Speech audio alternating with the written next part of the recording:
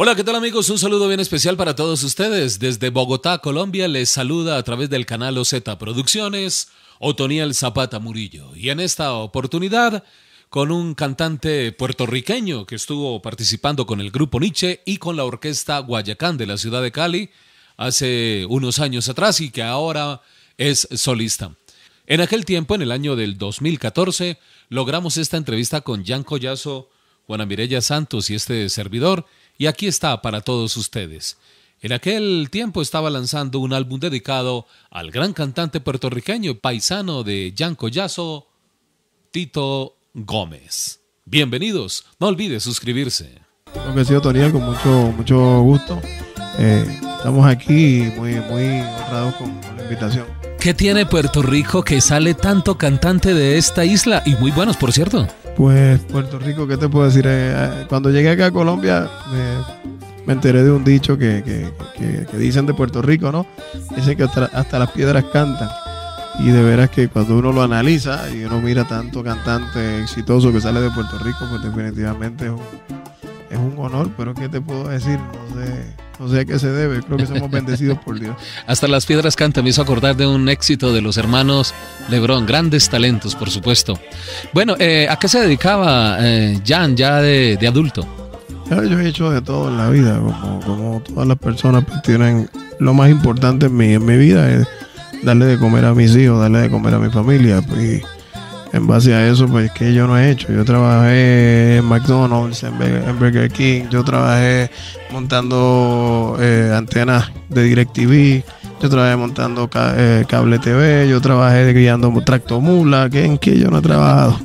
Bueno, y en esos trabajos eh, eh, lo compartía con la música, cantaba como hacen aquí Sí, claro. nuestros obreros colombianos. Claro, yo lo hacía pues, porque el, el que es cantante o el que es, por ejemplo, locutor de radio, eh, yo creo que nunca deja de serlo. Eso es algo que le apasiona a uno y uno muy pocas veces tiene la oportunidad de que te paguen por hacer lo que te gusta. ¿A qué artista seguía? Pues como te digo, yo, yo creo que el artista dura un tiempo, pero la persona pre- prevalece. Y yo soy fanático también, ¿entiendes? Yo pues, sigo a un Andy Montañez, a un Gilberto Santa Rosa, Víctor Manuel, Gran Combo de Puerto Rico, La Sonora, Ismael Miranda, eh, de merengue Elvis Crespo, los hermanos Rosario, Santo Domingo. Eh, yo soy fanático también del pop Tommy Torres, Ricky Martin, Chayanne, todos esos tipos que uno, uno creció con ellos prácticamente. Jan, nos contaba usted que grabó muchas canciones antes de ser exitoso en nuestro país. ¿Qué pasó con esas canciones? No, yo grabé muchas cosas que, no- que nunca sonaron Sí. para, Pasa. para, para grupos de merengue. Pero no, en mi, en mi caso fue ridículo. Yo grabé más de 18 canciones y no sonaba ninguna. Eh, Ningún grupo en el que yo abrí la boca, ninguno salió. Pero creo que son cosas de Dios. Eh, cuando la primera salsa que grabé en mi vida se llama Carro de Fuego. No me diga. Y bueno, ¿y usted arrancó eh, interpretando merengue entonces? Sí, yo canté merengue, yo canté bachata, bolero, cantaba en bodas, cumpleaños, hoteles, eh, entierros, velorios, lo que pareciera, lo que te contrataran. Y bueno, ¿y cómo eh, llega a Colombia y se fija eh, en esta gran orquesta como la es de Guayacán, donde precisamente graba Carro de Fuego? No fue que yo me fijara, sino que Alex Lozano me dio la oportunidad.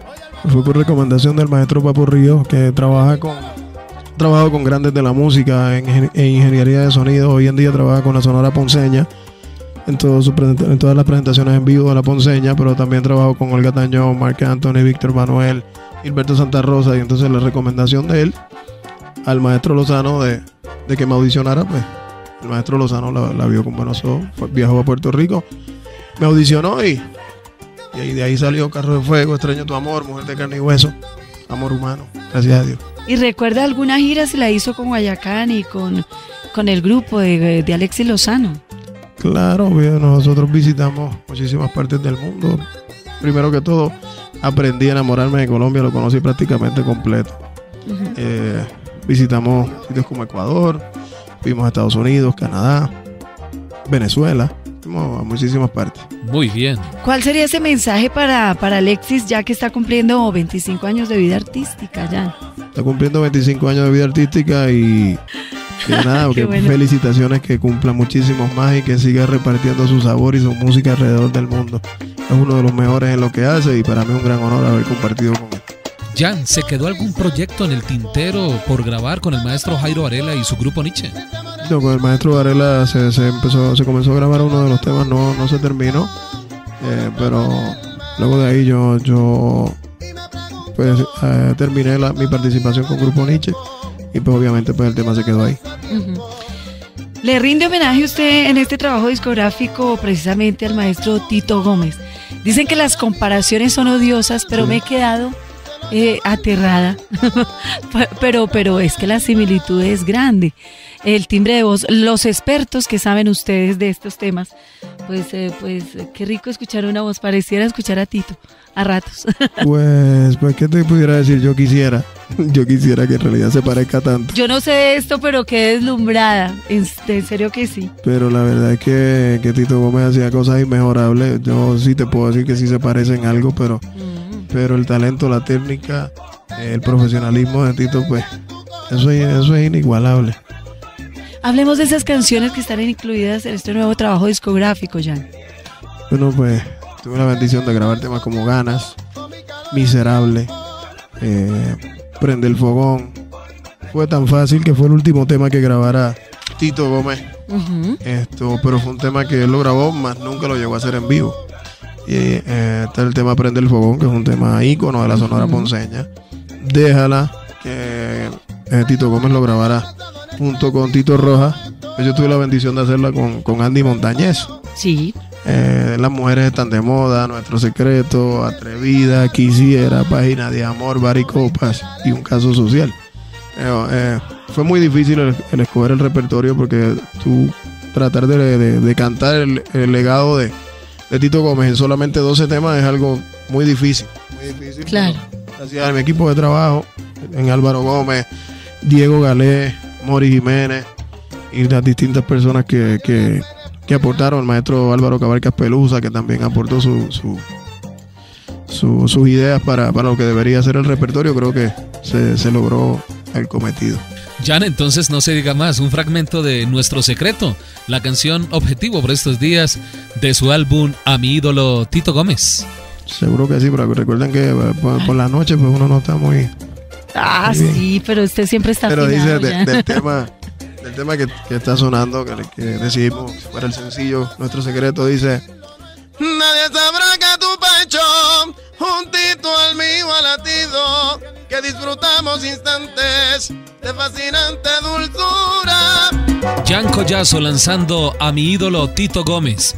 En el álbum vienen las canciones Ganas, Miserable, Fue tan fácil, Prende el fogón, Déjala, Las mujeres están de moda, Nuestro secreto, Atrevida, Quisiera, Página de amor, Baricopas y Un caso social. Muchos éxitos con el álbum A mi ídolo Tito Gómez. Buena fortuna entonces y para adelante con la buena salsa. Gracias a ustedes por la oportunidad de llegar al público. Dios los bendiga. Amén. Jan Collazo, otro de los grandes de la música tropical, de la salsa nuestra puertorriqueño, ha pasado aquí en el canal OZ Producciones. No olvide suscribirse, siempre estamos pendientes de poner nuevos estrenos para todos ustedes o entrevistas del recuerdo. No olvide ponerle la alerta de la campanita precisamente para que reciba las notificaciones del canal OZ Producciones. Con gusto y cariño, Otoniel Zapata Murillo. Hasta la próxima.